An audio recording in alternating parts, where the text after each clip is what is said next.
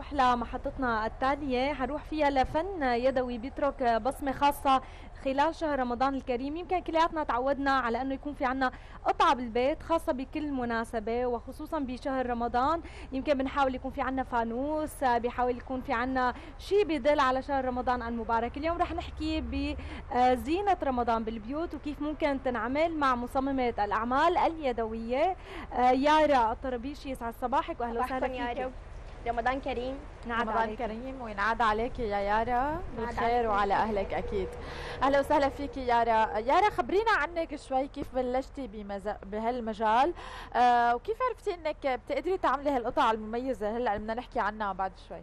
هلأ هو بالبداية كان مجرد موهبة. كنت زين زاوية بالبيت أعمل إعادة تدوير لأي شيء عنا بالبيت. بعدين صرت استلم أدق التفاصيل بحفلات رفقاتي أو قرايبي ولقيت مشروع أكشن فاتح دورات تدريبية تنسيق وتزيين حفلات سجلت فيه وحصلت على شهادة بتقدير ممتاز وبلشت مشروعي. صارت زينتي تدخل لكل بيت حلو, حلو. طيب يارا خلينا نحكي شوي يمكن هلأ عم رح نشوف مع بعض القطع اللي بتعمليها. نحكي عن المواد اللي بتستخدميها وشو تفاصيل أكثر عن الشغلة. هلأ المواد اللي بستخدمها هي المواد اللي كثير بسيطة مثل ورق الإيفا مثل الكرتون يعني شغلات كثير موجودة بسيطة بكل بيت. ممكن نحن نعيد تدويرها ونعمل منها هالشغلات الحلوة. نعم. يعني في ألوان معينة وفي يمكن لامة هذا بصمة إلك. ما كثير بنشوف آه، هيدي كمان البصمات يعني عم تعملي اللون الفضي والذهبي وفيهم اللامة أو البراق مثل ما بنقول هلا أنا بحب زين إنه الزاوية تكون كلياتها روح وحدة. لذلك بستخدم الألوان يلي خرج تلائم الديكور تبع البيت عنا نعم. بستخدم ألوان إنه تكون تناسب كل البيت وكل زاوية. نعم أكيد. يعني كمان عم نشوف أشكال متنوعة. هلأ هدول بيتلزقوا ولا مثلا ممكن يتعلقوا مثل ما شايفين في زينة معلقة؟ شو الشكل النهائي ممكن يكون لها هلأ نحن ممكن نلزقهم بالسيليكون أو ممكن نشتري من هذا الورق يكون هو لاصق وممكن نحن نعلقهم بشريطة. في منهم يعني بيجي بيتلزق فورا. طب كيف بتختاري الألوان؟ آه، إذا حدا بده مثلا يوصيكي على شيء معين تنصحيه إنه يستخدم هي الألوان. آه، عندك بصمة معينة؟ يعني هلأ عم نشوف مثل ما قلنا إنه كله فيهم لمعة. آه هذا قليل ما نشوفه كمان آه هي بصمة لإلك تعتبر هلأ بحب الزينة اللي ساويها تكون مميزة عن اللي موجودة بالسوق. وبحب إنه أستخدم هدول الألوان يلي بتناسب أي زاوية بدنا نحط فيها. كمان في هلأ أنا قبل ما نشوف نشوف السلة هي شو؟ هلا هذا بريم. ممكن نحن نعمل منه هدول الزبادي من أي زبدية آه عندنا بالبيت. ممكن نعيد تدويرها ونعملها بهالطريقة الفنية هاي لحتى نحط فيها تسالي رمضان أو التمر أو الشوكولا فينا تشوفيها على الهواء بس نفرجي جزء صغير منها آه، هي نفسه آه، خلينا نقول الصحن اللي بيكون إزاز. هذا أي صحن موجود بالبيت عنا. ممكن نحن نلف عليه هذا بالسيليكون. وبأي اكسسوار موجود عنا بنقدر نزينه نزينه بالبيت. يعني ممكن قطع قديمة نستخدمها نزين فيها الشكل. آه طيب خلينا نحكي شوي كمان عن الأشياء الثانية اللي بتعمليها. يعني أنت مو بس بتعملي زينة برمضان حتى بمناسبات ثانية ممكن تعملي لأعياد ميلاد ممكن تعملي لمناسبات خاصة. نحكي شوي كمان عن شغلك هلا أنا بعمل للولادات بعمل لاعياد الميلاد بعمل للعمادات بعمل تزيين شموع أي مناسبة آه تزيين مشافي ممكن إنه أنا أدخل بصمتي فيها وأعمل زينة مو موجودة بالسوق كلها تنفيذ إيدي قد إيه بياخذ معك وقت الشغل يعني إن كان آه مثل هدول الزينة تبع رمضان أو حتى تبع الزبادي تسالي رمضان قد إيه بياخذوا معك وقت؟ هلأ هدول باعتبار إنه أنا اخذت إيدي على الموضوع يعني ممكن 10 دقائق أما 10 دقائق أنت؟ أه. أنا بدي سنة لاعمل أما ست البيت يعني ممكن إنه تقعد تشتغل هي وأولادها فيهم يتسلوا فيهم ممكن ياخذوا معها نص ساعه صار في عندك قوالب جاهزة بتشتغلي عليها؟ يعني مثلا ممكن رسمة تكوني راسمتيها مجهزتيها فورا بس تشتغلي حفر مثل ما بيقولوا أو قص على قالب جاهز؟ هلأ بالبداية كان القص بمشرط أو مقص عادي بعدين صار عندي آلة القص ليزر آه، برسم التصميم يلي بدي إياه وفورا بستخدمه على القص. طب آه، انت درستي هذا الشيء بمشروع اكشن كيف عم تروجي للقطع اللي انت عم تشتغليها؟ وإذا مثلا عملتي فكرة معينة وغريبة شوي كيف هيك بتحاولي إنك تسوقيها مثل ما بيقولوا؟ هلأ أنا عندي صفحة على الفيسبوك عندي مجموعة اسمها يروشه بنزل عليها كل شغلي وبعمل عليها الدعايه أي حفلة بعملها أو أي مناسبة بنزل الصور وبصير عندي أنا دعاية. يعني يمكن اليوم كتير مهم وضروري كل صبية تبلش تلاقي مشروع خاص لها تبلش تدور على شيء تتميز فيه إلى جانب دراستها. خلينا نحكي قديش هذا الشيء أعطاكي دفع. يمكن اليوم أنت صرتي منتجة عم صار كمان اسمك موجود عم تلاقي صدى هيك من الناس وقبول. قد هذا الشيء مهم بالنسبة لك هلأ هو هذا الشيء كثير مهم. ضروري إنه كل صبية يكون عندها لها طابع الخاص لها اسمها الخاص لها شغلها لها كيانها. يعني أنا بنصح كل صبية تشوف شو الموهبة اللي هي موجودة جواتها تنميها تكبرها لحتى تقدر إنه توصل لشيء معين بالحياة ويكون لها اسمها. طيب يارا شو أكثر هيك شغلة انت عملتيها أو فكرة عملتيها وكثير حسيتيها انه إنه خلص هي يعني بدها تكون يعني خلص على اسم يارا إنه ما حدا عمل مثلك؟ شو هي القطعة اللي انت فعلا حسيتي إنك عملتيها هيك مثل ما بيقولوا من قلب ورب وتعبتي فيها بشكل كتير غريب ومن أفكارك انت؟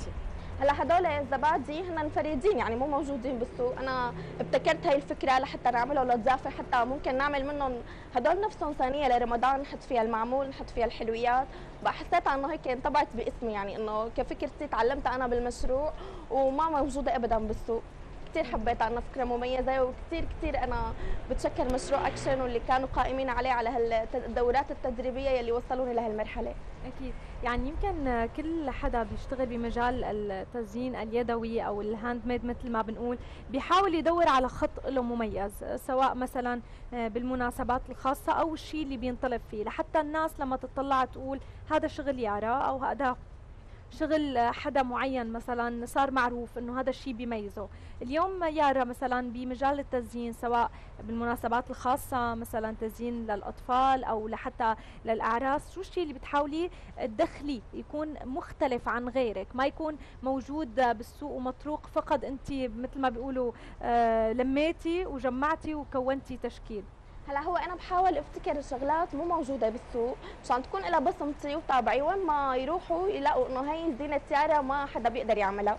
إنه مثلا مثل البوالين أعمل موديلات جديدة ممكن إنه أنا أعمل شغلات بالزينة مثل قطع بربتوزات أو لهاية أو ببرونة شغل إيدي حطهم بمناسبات الولادة. يعني إنه هن ما بيقدروا يشترون من السوق لأنه هي مطبوعين باسمي إنه أنا أبتكرتهم.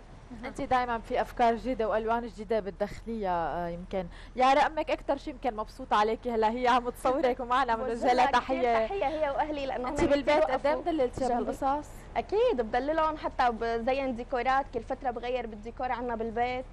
أكيد. بحب أعمل إنه كل زاوية خاصة لها روحها والى ألوانها وإلى زينتها. بتفكري تطوري هذا المشروع أكثر؟ يعني خلينا نقول يصير عندك منصة للبيع مثلا ممكن تعملي شيء يكون دائما موجود في زينة يدوية لأي حدا بده؟ ولا هلأ لا بس مقتصرين على صفحة الفيسبوك والتواصي؟ هلأ أكيد أنا بحب إني أطور من نفسي وإنه مشروعي يكبر أكثر. بس هلأ حاليا إنه أنا عم أشتغل بشغلات إنه أي زينة أنا اعملها تكون موجودة بس أنا لأنه عملتها مو إنه موجودة بالسوق أو أنا بعتها. ويقدر أي حدا يزين فيها. يعني عم أترك إنه تابعي بالمكان اللي أنا زينت فيه إنه أنا كله هذا الشغل أنا عملته. طيب يارا في يمكن هلأ كثير عم نشوف صبايا وسيدات عم يشتركوا كمان ببازارات لتسويق منتجاتهم. وفعلا عم بيكون لها آه، يمكن شيء كثير آه، هيك صدى عند العالم بأسعار آه، حلوة. هل فكرتي إنك تشتركي بهيك بازار؟ أكيد هلا هو هي الفكرة قائمة بس لسه ما عملتها. يعني بس لحتى تصير عندي مجموعة كثير كبيرة أكثر ممكن إنه أنا أدخل ببازار. ولأنه بحب إنه زينتي تدخل كل بيت باعتبار إنه أسعارها بتناسب الجميع. أكيد. نعم. يعني كمان كل حدا بيحاول يدور على التطوير بالشيء اللي عم يشتغله. يعني اليوم مجال اليدوي ما بيوقف عند موديل معين. أكيد أنت عم تحاولي تتدربي أو تشوفي نماذج مختلفة من الشغل اليدوي لتطوري شغلك عليها. يعني يمكن بلشتي بهي الفكرة. خلينا نقول هلا عم تتدربي أو عم تحاولي تطوري نفسك لتوصلي لتشتغلي بقطع مختلفة عن هذا الشيء النوع اللي عم تشتغلي عليه حاليا. أكيد هو الواحد بحب يجدد يطور من نفسه يشوف أكثر يشوف أفكار جديدة يرجع يحاول يطبقها ما إنه يثبت على نمط معين وخلص إنه يضل يتابع فيه. لازم يضل عم يطور من نفسه ولازم يضل عم يكبر من أفكاره. أكيد. طيب آه، الناس لما عم تشوف شغلك وعم توصي وتاخذ القطعة شو عم تكون هيك ردود الأفعال الصدى؟ آه، القطعة عملية عم تكون عم تضاين عندهم عم يحبوا الشغل؟ آه، أكيد. هلا هو أنا هذا يلي وصلني حب الناس. يعني قدرت اكبر قدروا إنه لما أنا أعمل لهم زينة يحبوها يصيروا يدلوا علي أكثر من هيك أنا كبرت.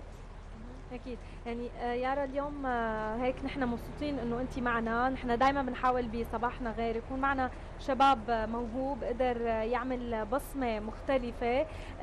خلينا نقول اليوم بلشتي بالشغل اليدوي. هل في شيء ثاني حابة خلينا نقول تدخلي فيه بمجال موهبتك؟ ممكن هذا الشيء نما عندك موهبة الرسم نما عندك أفكار ثانية آه، أكيد. هلأ أنا بحب ارسم بحب إنه ساوي قطع إنه أنا أرسمها نفذها قصها ظبطها أحط لها شوية إكسسوار بسيط. يعني إنه أكيد موهبه ما وقفت إنه بس عن إعادة التدوير والتزيين تعملي إكسسوارات بيخطر على بالك تعملي هيك شيء؟ إيه ممكن بعمل هيك يعني إكسسوارات. يعني أغلب اللي بيشتغلوا زينه بلاقيهم بيشتغلوا كمان إكسسوارات يدوية بعمل الإكسسوارات اللي ممكن حتى على باب مشفى مثل فستان صغير نكتب عليه اسم البيبي كثير هدول القصص إنه بحب إنه أطور منهم وانه شوف شو في أفكار جديدة إرجع ساويهم أكيد نعم. وأكيد يمكن هلأ سلمى على مواقع التواصل الاجتماعي صار في كثير يمكن فيديوهات لتعليم تدوير الأشياء. هذا الشيء كثير عم نشجع عليه بسوريا خاصة إنه حتى نراعي أول شيء ما الحالة الاقتصادية لكل. بيت. ثاني شيء إنه نبدع من القصص الثقيله واللي كانت موجودة عنا ما نكبها ببساطة إلا ذكرى بيكون. نجملها بشيء ثاني فهل عم تشوفي الفيديوهات أو بتفكري تعملي لك فيديوهات تعلمي العالم؟ أكيد ليش لا؟ ممكن أعمل قناة على اليوتيوب وبلش إنه أعمل خطوات أي شيء لحتى يقدر أي بيت يقدر يساوي منقطع الموجودة عنده يعيد تدويرها أو كيف إنه يقدر يزين زاوية عنده إذا كان ما بيقدر إنه يجيب حدا يزين له. أكيد. يعني آه يمكن آه يارا هذا الشيء كمان بيخلي كمان بيغير نفسية الشخص. كان أنت تكوني خجولة شوي بالواقع بعد ما مثلا دخلتي بهذا المجال وصرتي تشاركي بدورات تدريبية.